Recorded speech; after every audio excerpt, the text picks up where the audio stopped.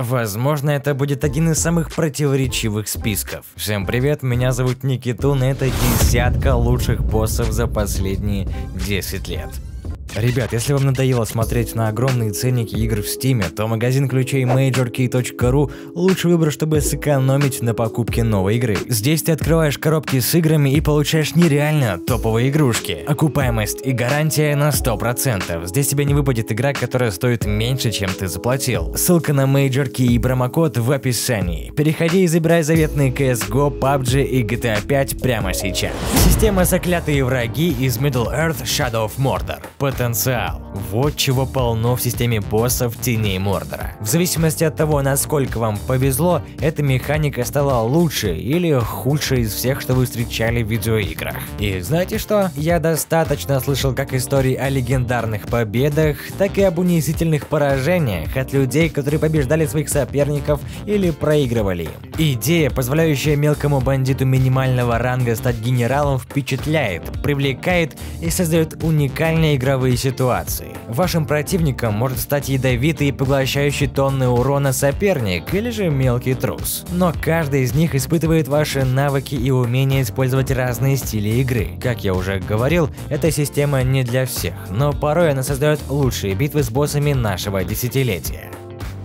Deathstroke в Batman Arkham Origins. Да, я знаю, что Origins была не такой крутой, как другие игры серии. И я знаю, что Фрис и Пугало сделали гораздо больше для того, чтобы изменить само представление о битве с боссом. Но знаете, если взглянуть на него отдельно, то убедите меня в том, что с ним не было весело сражаться. С момента начала схватки вы сразу понимаете, что никаких трюков в ней не будет. Арена просто таки пуста, подкрепления ниоткуда не спрыгивают. Вы вы деретесь один на один. В результате мы получаем скоростной поток контратак, комбо и попыток найти момент, когда противник открылся. Это совершенно великолепно. Схватка настолько хороша, что многие фанаты считают ее лучшей во всей серии игр.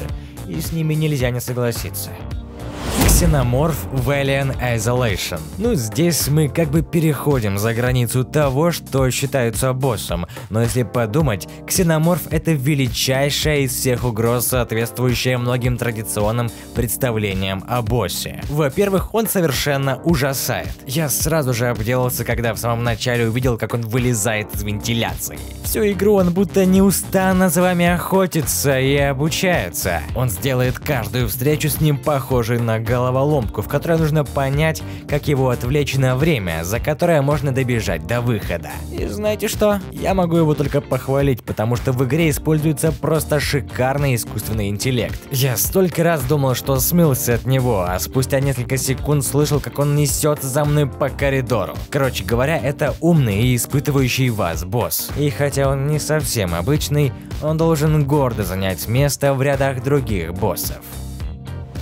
Сенатор Армстронг из Metal Gear Rising Revengeance. Порой боссы похожи на экзамены. Они как тесты, проверяющие тот факт, что вы освоили все аспекты игры, которые нужны, чтобы их победить. Сенатор Армстронг именно такой. Вот только вам не придется сидеть в тишине в классе и вспоминать, как пишется синхрофазотрон. Схватка с ним окажется быстрым и безумным потоком хаоса. Подчокнутую музыку два накачанных мужика метели друг друга и порой бросаются за машинами. И эта битва обязательно станет для вас испытанием. Если вы не научились правильно пользоваться режимом свободного меча, то этот политик разотрет вас в порошок. Это великолепное и возбуждающее сражение, которое должно довести вас до предела.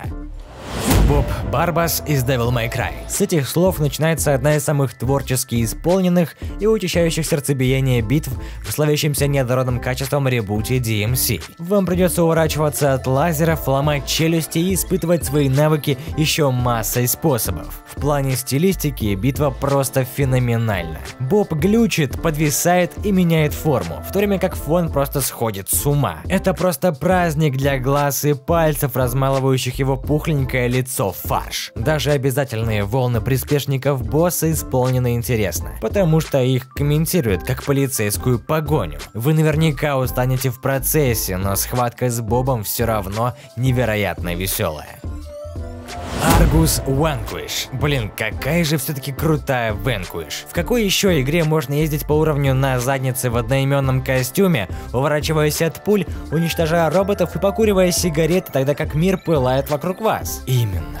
Ни в какой. И если есть хоть один босс, который полностью отражает суть игры, то это, наверное, первый – Аргус. Эта монструозная махина занимает большую часть экрана и без проблем заполняет его остатки ракетами и лазерами. Битва с этим механическим мятежником просто великолепна, потому что вам не дают передохнуть ни на секунду. Вы всегда двигаетесь или атакуете, а когда босс меняет форму и обрушивает на вас ад, вам нужно действовать с идеальной точностью, чтобы победить. Добавьте сюда концовку в виде QTE, которая приятно выполнять, и вы получите идеальный ураган ураган из хаоса.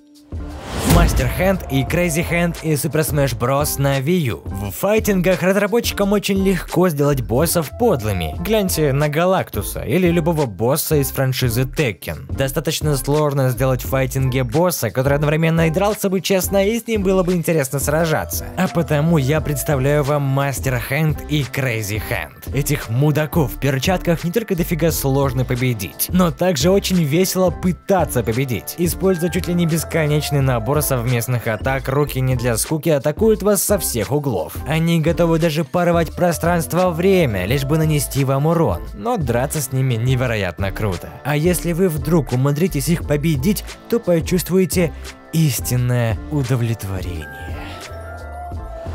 Орнштейн Драконоборец и Палач Смоук из Dark Souls. Эта парочка уже побывала в моих списках, но это не умаляет их шикарной мощи. Даже один из них сделал бы сражение сложным, но вдвоем они компенсируют уязвимости друг друга. И как ни странно, результат просто ужасает. Не стоит забывать, что если один из них умрет, оставшийся боец поглотит его силу, что сделает его вдвое мощнее. Это кошмарное и невероятно затягивающее сражение. Red из Pokemon Heart Gold Soul Silver. Етить колотить, какое же это было крутое переживание. Сразившись с бесчисленным количеством тренеров и поднявшись на коварную гору Сильвер, вы обнаружите на вершине одинокого тренера это Red. И это не только фан-сервис от разработчиков, это еще и грандиозное испытание даже для самой закаленной команды. Если вы не вложили массу времени в грайнд, его покемоны скорее всего окажутся гораздо быстрее и сильнее ваших. К тому же он использует немало аптечек, чтобы еще сильнее растянуть бой. Это потрясающее испытание для всех ловцов покемонов, от мала до велика.